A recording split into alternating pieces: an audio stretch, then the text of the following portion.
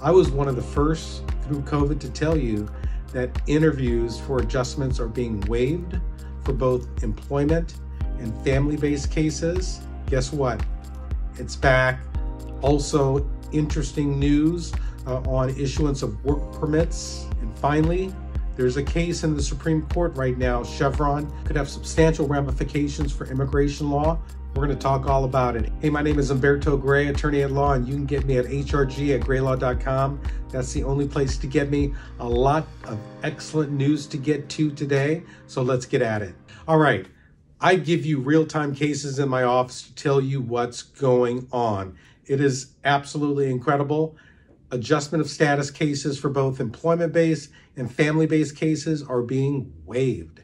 No interviews and approved. But more dramatic, I am seeing the issuance of work permits after filing the adjustments adjudicated in 30 days. Here's some real cases, folks. Look at these notices, I-797 notices, approval of work permits. You're going to see two things. You're going to see number one, the rapid speed in which I'm getting my approvals, 30 days. Number two, look at the dates of issuance. Five years, folks. Five years for work permits. It's fantastic. That is wonderful news. And we see this trend happening at the beginning of the year here. These cases were filed sometime in December, approved already in January. I think we're going to continue to see this. They're trying and trying and trying work on the backlog of cases that are pending right now. Let's continue to follow this trend. I'm going to give you real time adjudications news, okay? All right, another method that's happening in order to alleviate the backlog with State Department.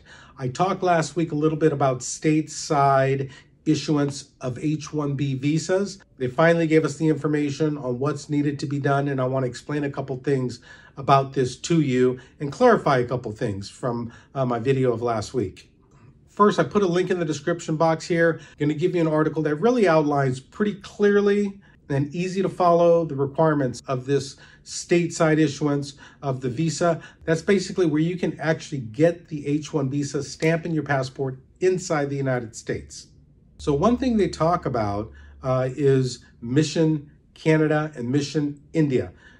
This is where your visa was issued at the U.S. consulate in India or Canada at any of the various consulates in those countries. That's what mission means. Mission means any of the consulates inside of those countries. If your H-1B visa was issued at one of these posts abroad, you may be eligible to get the visa renewed inside the United States.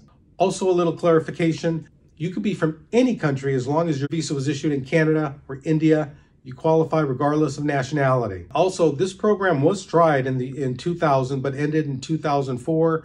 You know, previously I said this is the first time this is happening. It's not. So, note also start date, right? Start date remember is January 29th. It's coming quick. You only have until April. So if you qualify, get it in. Again, my link sends you to the State Department uh, website, state.gov, shows you exactly what you need to do. It's limited to those countries where there's no reciprocity fee. What does that mean? Okay. Again, I put a link in the description box below. Go to State Department here, look at reciprocity. Two things here I want to say. Number one is the MRV fee is the actual DS-160 fee. It's different from the reciprocity fee. The reciprocity fee is usually a fee for certain countries. Once the visa is issued, you have to pay. So you can go to the website here, see if your country is one of those countries that does or does not have a reciprocity fee. This H-1B program only applies to those where there's no reciprocity fee.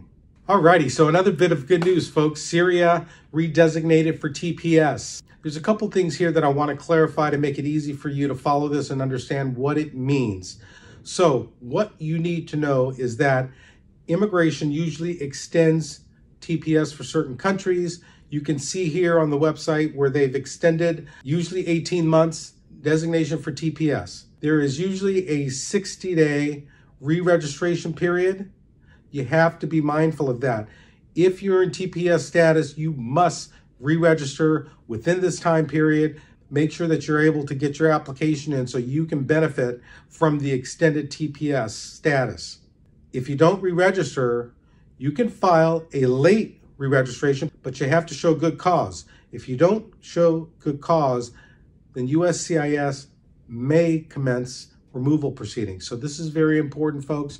Go to this website, understand what redesignation is, make sure you get your application in on time. All right, there is a case called Chevron. The case was decided in 1984, and it says generally that administrative agencies have deference in terms of their decisions that they make.